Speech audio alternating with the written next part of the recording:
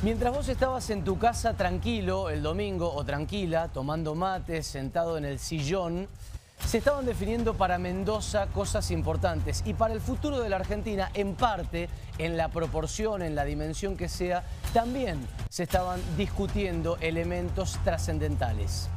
Y sin embargo, vos, vos, decidiste quedarte ahí en la tranquilidad, calentito y sin tener que involucrarte demasiado. A quien le estoy hablando es a uno de tantos mendocinos que este fin de semana no quisieron moverse de sus casas para ir a emitir el voto a los departamentos en los que tocaba y que, si estás en ese grupo, te digo que compones junto al resto un fenómeno interesante, lamentablemente peligroso y del que nos vamos a ocupar bastante en esta noche de séptimo día. El último domingo el 43% de los mendocinos que tenían que ir a votar decidió no hacerlo por nadie, no votar directamente a nadie. Esto ocurrió. Te lo vamos a contar y te lo vamos a graficar en esta noche, porque fíjate lo que es este número. 160.000 personas no quisieron moverse de su silla y acercarse a una escuela durante 5 o 10 minutos. Háblame de distancia entre política y la gente y la ciudadanía y hablame de apatía. Pero mientras hablamos de eso, hagámonos también una pregunta central. ¿Es solamente culpa de la clase dirigente que estemos así o también hay algo de culpa nuestra?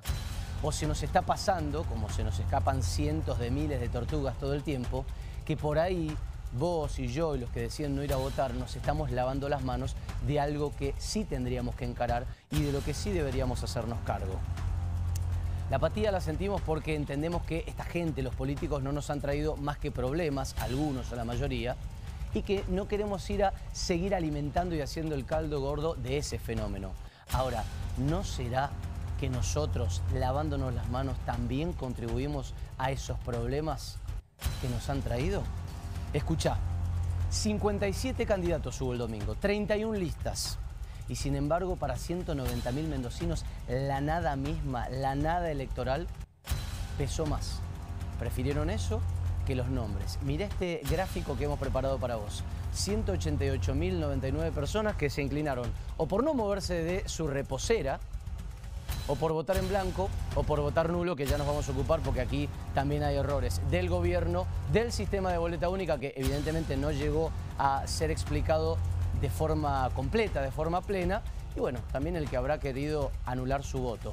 116.000 suman entre los siete que ganaron este fin de semana. La nada les ganó. Y acá hay muchos elementos. Eh, uno es la indiferencia, por supuesto, lo hemos hablado acá. Pero además de meternos en la indiferencia, hay que ver qué más subyace allí. Indiferencia y apatía que también aparece en esta imagen. Esto es cómo ha sido la evolución de la forma de participar a lo largo de las pasos nacionales, desde la primera hasta la última. La primera fue en 2011, Cristina electa, más tarde lo sería también las generales. Mirá vos, más de 8 de cada 10 iban a votar ahí. Bajó el 76% en 2013, bajó el 72% en las pasos del 2015. Hubo tres presidenciales en 2015 porque pasos generales y balotaje. Volvió a subir un poquito en el 2017 y en el 2019, 74-76. Mirá cómo cae estrepitosamente en un año que, si querés, también pandémico, pero de mucho descontento en el 2021. Eh, ¿Qué pasará en el 2023? Ahora, como te decía, eh, también hay responsabilidad en todos nosotros. También habrá que ver qué problemáticas trajo la nueva boleta única para que haya eh, tantos votos nulos. Una boleta única atada a esa anulación de votos que mañana va a arrojar datos recontra jugosos, te lo prometo. Mañana cuando se reúna la Junta Electoral ya por última vez y del escrutinio definitivo, no solo de números, que enseguida lo vamos a escuchar. Gente que, por ejemplo, le puso la cruz arriba del logo, arriba del logo partidario, por ejemplo, Cambia Mendoza, Frente Elegí, Partido Verde, en lugar del cuadradito blanco que tenía al lado. Y eso es un voto anulado. En ese error y en esa ignorancia también hay que leer claves políticas y también hay que leer claves de responsabilidades y de culpas. Hay de este gobierno, de Suárez, de los legisladores que impulsaron esto y, no lograron que este domingo el 100% de la ciudadanía lo entendiera, lo hay. Habrá que ver si era posible tener un margen de error cero también, a pesar de que el sistema era absurdamente sencillo. Evidentemente para mucha gente no lo es. Entonces hay apatía y hay enojo, pero hay desinterés también y hay errores propios entendibles del nuevo sistema. Ahora, vuelvo a vos. En este combo, vos, que no quisiste votar por nadie, sos central. Porque si vos decís que no te gusta nadie, que no te gusta ninguno de los candidatos, nosotros te podemos retrucar con bastante razón si es verdad que conoces todo de todos los que se presentaron, el trasfondo, los contextos, lo que piensan, las propuestas que hacían. Si conoces todo o mucho, bueno, entonces es valorable que hayas decidido no votar por ninguno. Ahora, si te falta algo de esa data, también está bueno preguntarte si no te estás lavando las manos respecto a algo que se puede llevar tu futuro o el de tus hijos. O más que el futuro tuyo y el de tu familia, el presente nuestro, el de todos nosotros, el de tu país. Quizá tu falta de interés en estas que pasaron y en las que vendrán, ojo, le esté haciendo ganar elecciones a la peor opción posible. En las que vengan, por ejemplo, en las de gobierno, en las presidenciales. Quizás tu apatía le esté dando votos al enemigo, ¿quién lo sabe? Insisto, mientras vos estabas en tu sofá este domingo se jugaban cosas para la Argentina. Así que la apatía tiene una carga doble. Ellos que nos desenamoraron y nosotros que entendimos que era válido deshacernos del voto como modo de protesta sí o sí, o al menos sin pensar en sus consecuencias. O porque sí. Gente que dice, no me calienta votar, ¿para qué voy a votar? Y me voy a meter con eso en un segundo. Ya lo hemos dicho, esa gente es verdad que en muchos casos está en otra, que en muchos casos gana 700 lucas por ir a levantar la mano. Ahora, la pregunta es si está bueno que vos y yo y nosotros estemos también en otra porque este es el único sistema que tenemos y el que ha demostrado ser el mejor de todos en el mundo.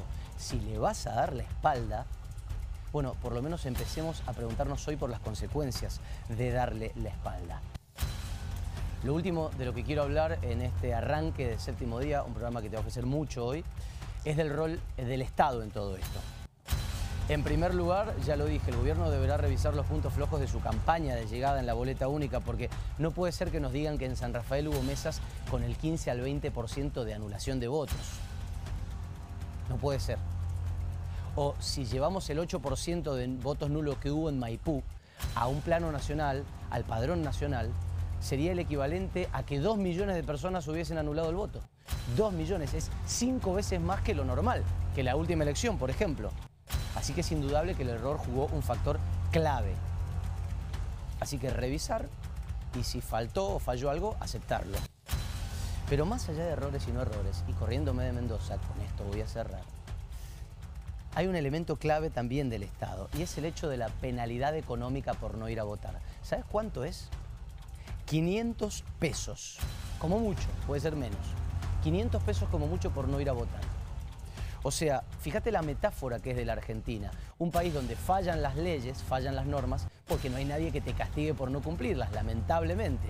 Falta alguien que venga y te diga, che flaco, tenés que cumplir con esto y este es tu castigo por no haberlo hecho. De eso, lamentablemente, en gran medida carecemos.